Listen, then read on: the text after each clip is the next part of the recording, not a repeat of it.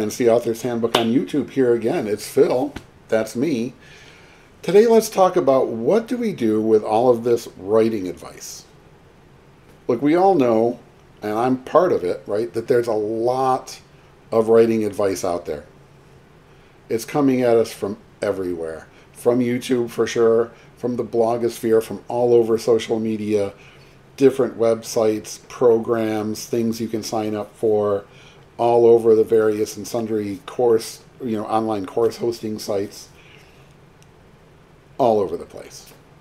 What do we do with all this writing advice? Because I can see, wow, can I see how overwhelming this can be for someone, especially just kind of starting out on this journey as an author, just kind of testing the waters. Can I do this? How do I do this? I've gotten some weird feedback. I don't know that I know what I'm doing. How help somebody help me. Somebody help me. And then the giant barrage of stuff happens. Often conflicting advice. Who do we trust? Right? Who is the knowledgeable source? Kind of everybody. And then also there's this feeling, because it's true, that a lot of the writing advice is exactly the same that you're hearing from not just me, but from a lot of people just like me. Show, don't tell, right? Active is better than passive voice.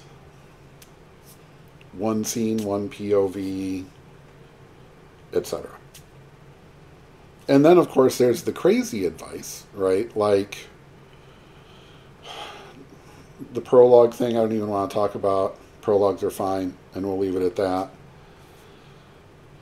other things about the business side of it, almost all of which is just crazy, not good advice.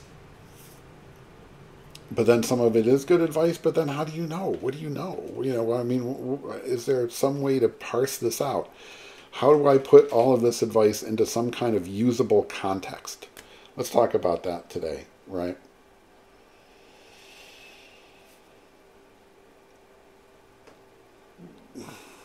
There's no step by step process to this. No one person, I don't care who they are, I don't care what service they are they are supposedly offering, can be your one stop. This guru, yeah, will exactly tell me exactly how to do this in a step by step basis. There is no step by step to this.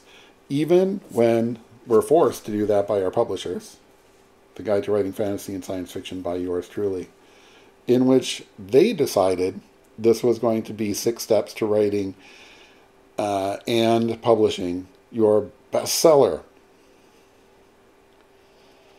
And and you know what happened actually, and and what I had to do to make that happen was change the chapter titles from chapter one to step one. And thanks to my editor, the late great Peter Archer. I got a line snuck in there that says, this isn't a step-by-step process. Even if it says so right on the cover, it's not a step-by-step process. You're going to go back and forth between these six steps, these six chapters, over and over again in lots of different orders, however you need to get through this, right? However this is useful to you, use it however you will, you know, however you need to. So I hate step-by-step advice applied to any creative endeavor. But let's try it. Why not? We're here, we're talking about this giant universe, this nebula of writing advice. Let's take it step by step. So I've created a step by step, a seven step plan for dealing with writing advice. Here we go. Step one This is creative writing. This is art. There is no one way to make art, and there is no best way to make art.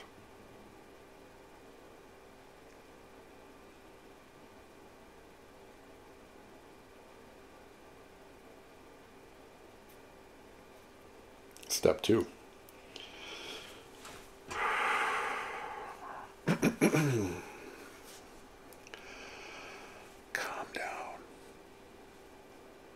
calm down. Just take a deep breath. Still that beating heart and calm down. It's okay. Because look, here's what we're doing we're writing stories. We're talking about fiction here, right? Creative writing. Nobody dies at the end of this. You know, we're, we're, we're writers, we're not surgeons. We can make mistakes, and we will. In fact, I, I encourage everybody to make all the mistakes they can. Nobody dies at the end of this. A couple of fictional characters, sure, right? No real people. You're going to be okay. You're not going to get sued.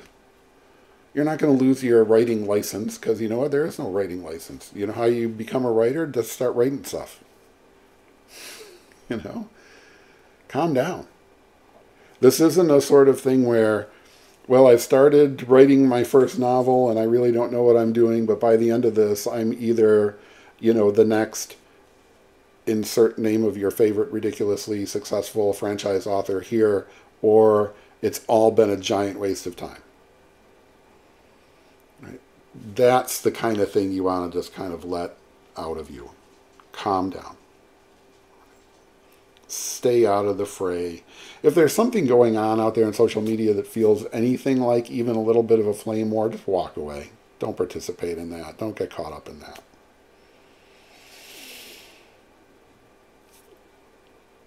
It's going to be okay. That's the main thing, right?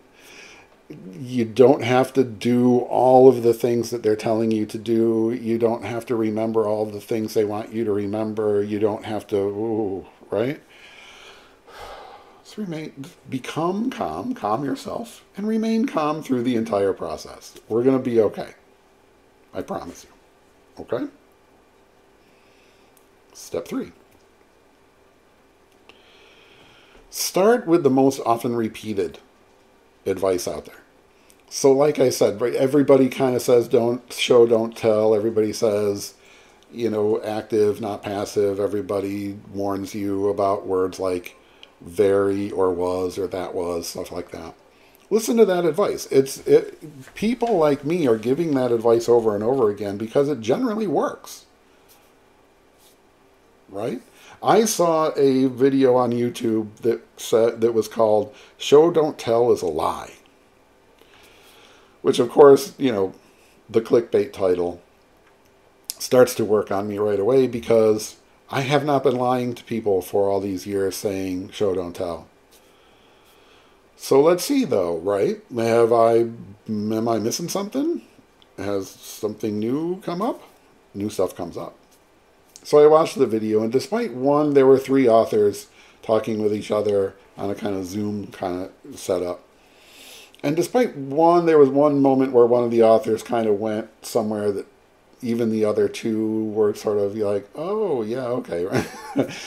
Mostly what this video was, was clarifying what we mean by show don't tell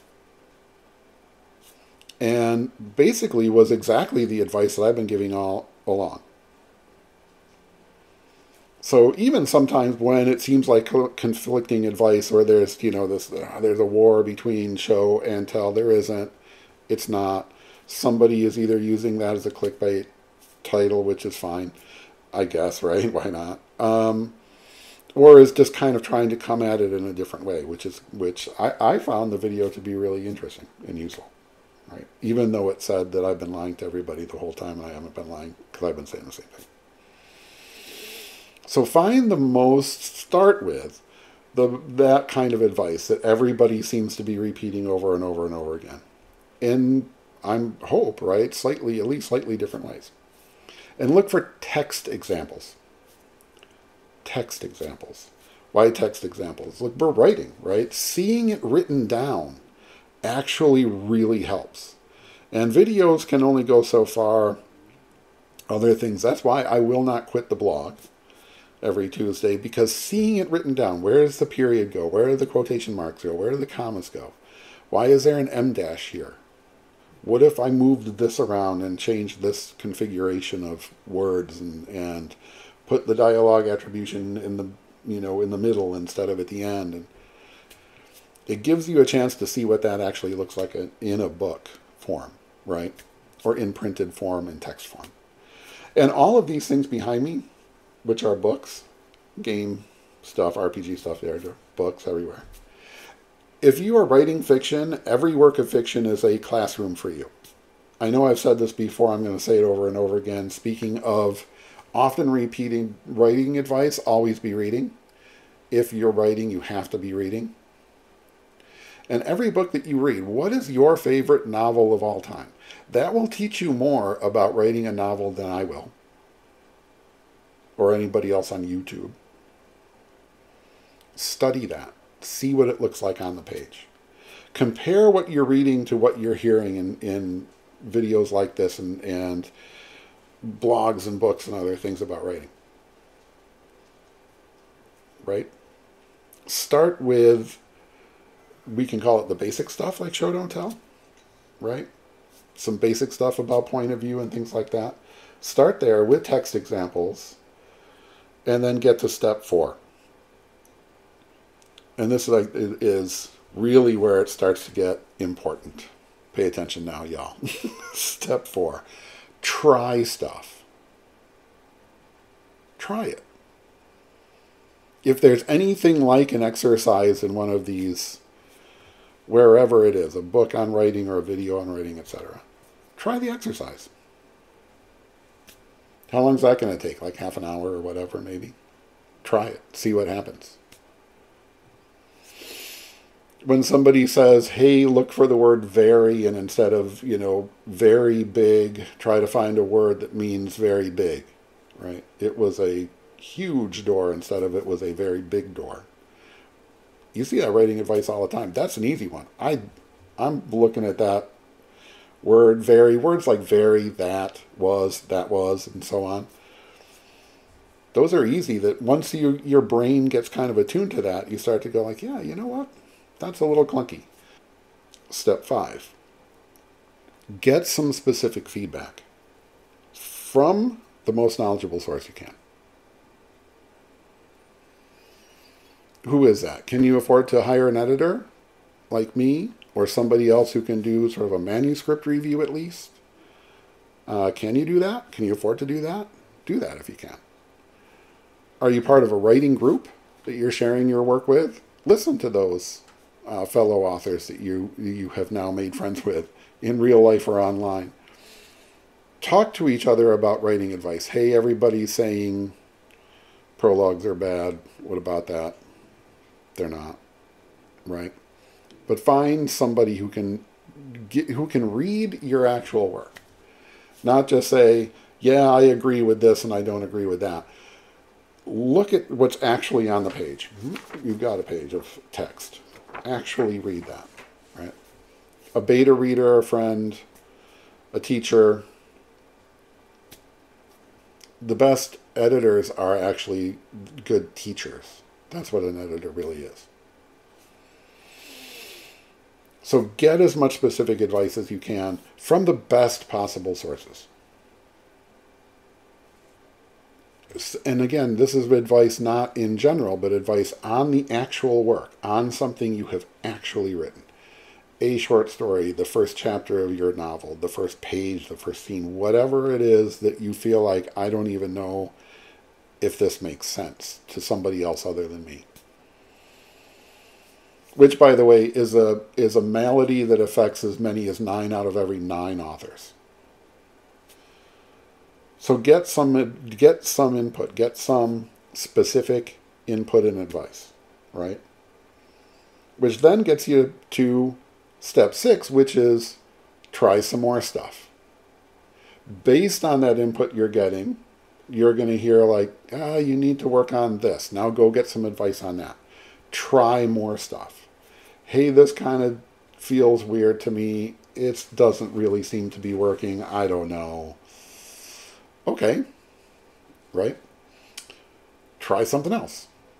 Try it in a slightly different way. Take the same advice, flip it around a little bit. Say, well, uh, especially things like process advice. These are the things like, I tried Hemingway's writing routine for a week and this is what happened. You see those videos on YouTube a lot. Do you want to try that? Does that seem like maybe? Is that what you're struggling with a little bit? The the process stuff, like it's writing at the right time of day or getting the right number of words down, etc. Is that what you're struggling with? Well, try that. Try what Hemingway did. Try what Toni Morrison did. Try what whoever did. And maybe that'll help you. Maybe you'll just be like, uh, there's no way in hell that my brain is going to come up with anything creative and interesting at 4 a.m. You know, and if that worked for whoever, fantastic for whoever. You need to find something that works for you. And the way you do that is by trying stuff. So if you're out there going, ah, I don't get enough writing done, I've written like a thousand words in the last two years. Well, then that's not a lot. That's not enough. So try what can you try? When, where can you find that time? Where do you find that energy, that impulse to write, that habit of writing, and so on? Right? Try and then try again. Step seven, repeat the last three steps over and over and over and over again for the rest of your life. Because that's what this is, everybody. This is a lifetime pursuit. For some people, it is a hobby, and that's great. I have hobbies, you know, all over the place it's it, not everything has to be a side hustle. Not everything has to be a brand. Not everything has to be a startup, right? Maybe just do this because you love doing it.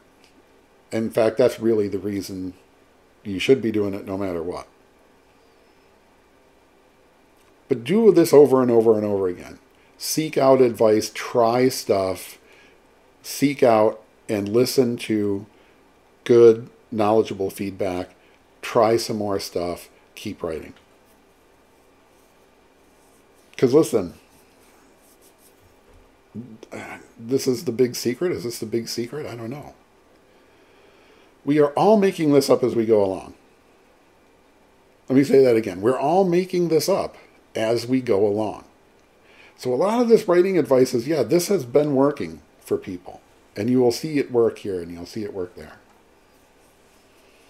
But we're all making it up as we go along. And every part of it is evolving. The nature of what a novel looks and sounds like has been evolving all along and continues to evolve. I can tell you for sure that the fantasy genre itself has changed dramatically since I started working on it really full time in 1995. The audience has changed, the books are different, the approach to it is different, and it's not because, oh no, the girls came and destroyed everything. Come on.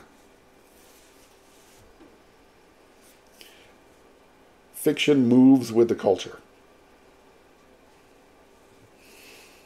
You know? We move, we evolve, we change, we grow, we try stuff. That doesn't work. We try something else. That works a little bit better somebody comes along and blasts the whole thing to the next level and then there's a little bit of catch up and then it turns into something completely different because someone else has come in from another direction. This is what's great about it. You're not perfecting this. And whatever, if somebody anywhere ever says, I can tell you right now exactly how to write the perfect novel, that person is nuts. At the very best, that person is simply incorrect. That person, uh, at the worst, that person is trying to sell you some nonsense thing. Because that's a nonsense thing. Art cannot be perfected. There is no best. We live in the subjective. We live only and always in the subjective. And that's what makes it hard sometimes because you can't just choose one from column A and one from column B like your chat GPT You're not. I'm not. Nobody else is. We're humans. We're artists. Even if, yeah, even if we're writing romantasy or cozy, whatever the thing. We're artists. This is art. We're making it up as we go along.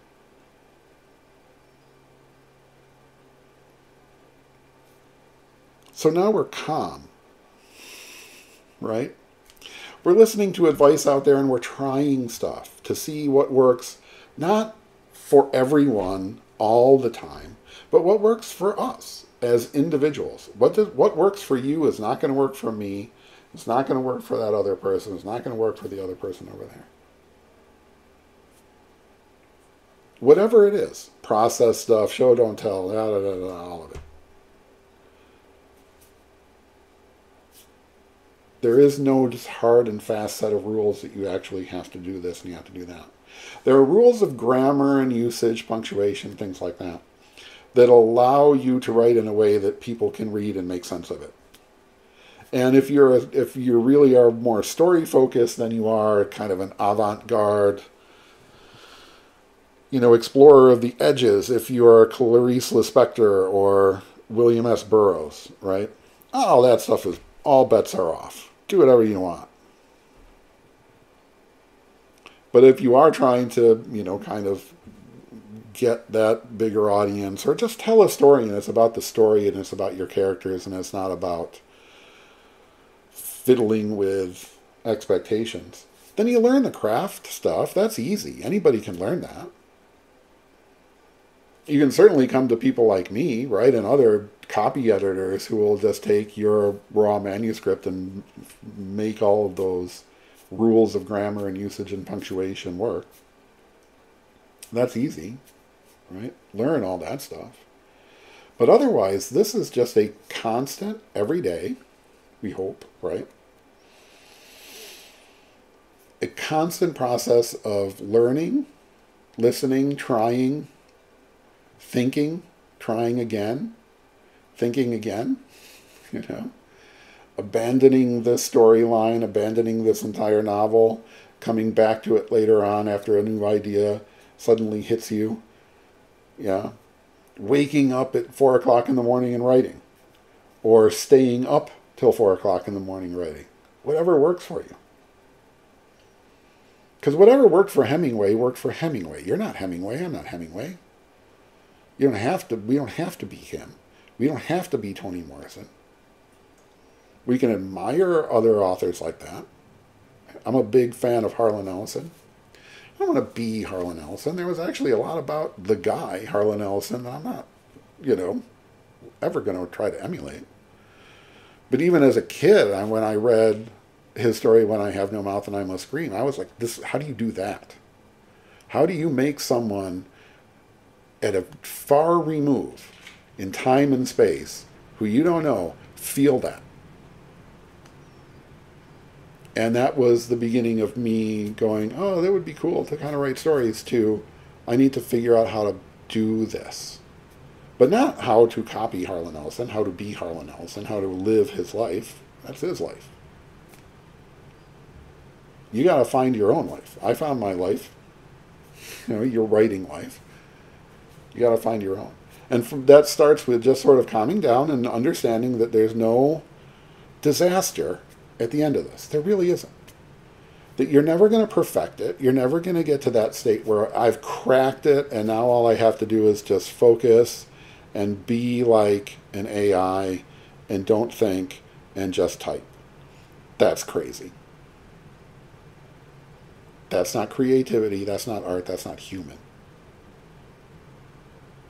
Right? What do you do with all this writing advice in the end? Whatever you want. you know, do with it as you will. And if you start thinking, well, I can't do this thing that I think would be really cool right here in the story, because in one of his blog posts, Phil said, ooh, don't do that. It's, to hell with me. Do it anyway. Because that's not my book. That's not my story. That's not my writing. That's yours. Write your story in your voice. Get that help as much as you can. Grab stuff out of the air and say, like, I think, yeah, maybe let's try that. Try that. Uh, no. Uh, this one. Ooh, you know what? If I just kind of take out the ends and do the middle part, that's perfect. You are on your journey. Hemingway was on his journey. Toni Morrison was on her journey. We're all on our own journey. Stay on your journey. But make it a journey of discovery. And that's, you discover by trying, by writing. And that's what all this really is, right? Read, think, write, read, think, write, read, think, write. Learn, learn, learn, practice, practice, practice, write, write, write, forever and ever and ever. And while that writing advice out there in the cloud changes, try this, try that, try the other thing. But calm down.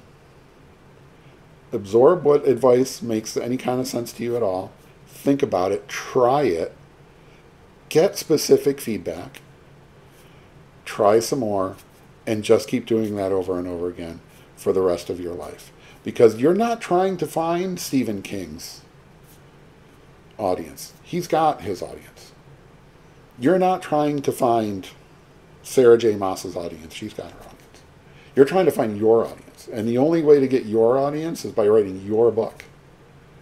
Not Stephen King's book, not Sarah J. Maas's book, not R.F. Kuang's book, not uh, whoever's book.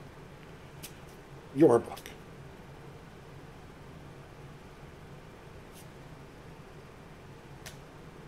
Okay, everybody? I think I'm just going to leave it at that. Good luck out there.